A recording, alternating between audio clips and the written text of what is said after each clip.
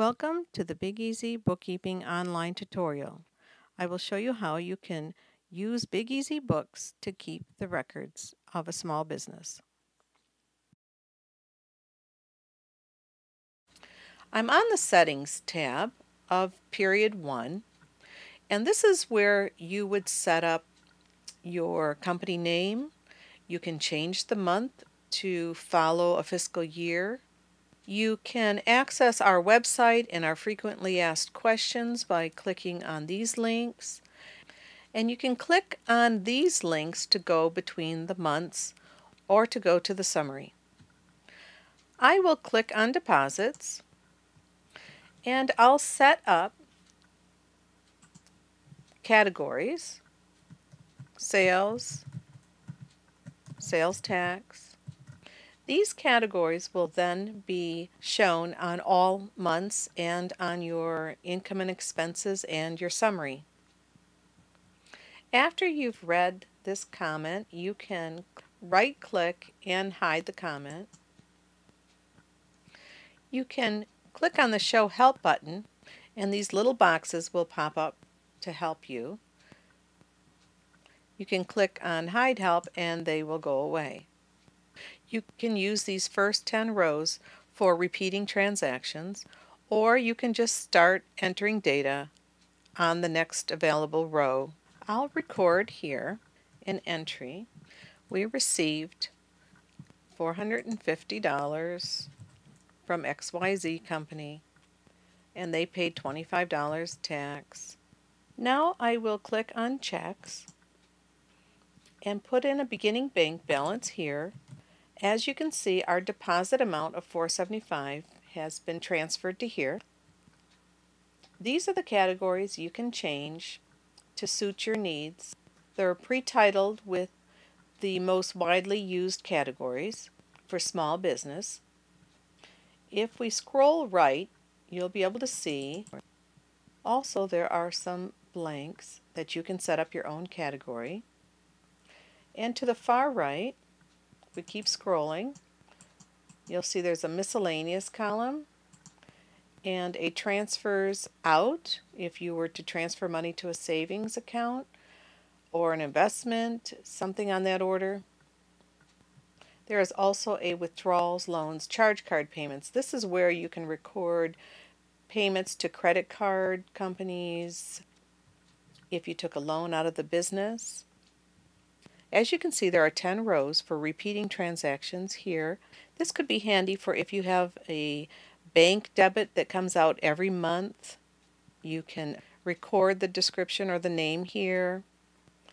And each month you just need to put the amount under the correct category.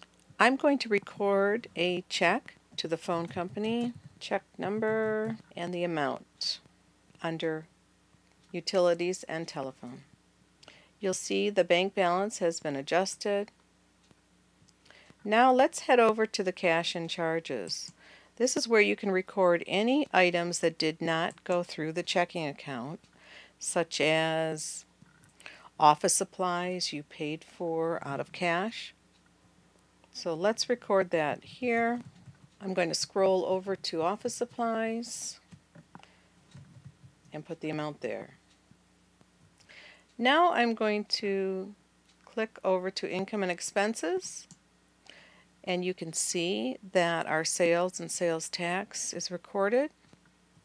This is where you can set up budget amounts. You put in one month here and it will copy into all the other months and you do have the option to change those amounts on the different monthly files. As you can see, our expenses are listed the office supplies, the telephone, and it's showing a $345 like remainder of income or profit.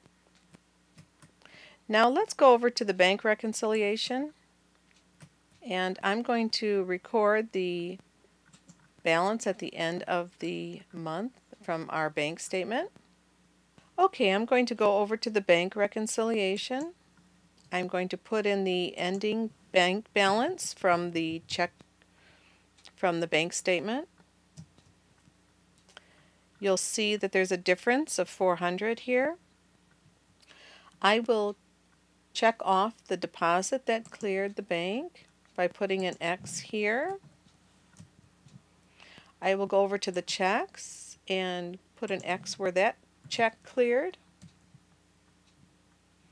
I will go back to the bank reconciliation and you'll notice the outstanding checks, there are none, and the difference is zero or blank, which means we've reconciled with the bank statement. Now I'll show you the account balance tracker. This is where you can keep track of balances such as a savings account. You could type that in here, your balance. It'll track any type of income. We will soon have what we call trackers available to help you keep track of these type of extra accounts. Now I'm going to scroll back to the settings tab and I'm going to click on the summary and now you can see in the summary that our deposits are here for January. I'll click over to check, see that our expenses are listed here. Now I'll click on the income and expenses summary. This list has the summary for the year of 2010 and that is it. Thank you for watching.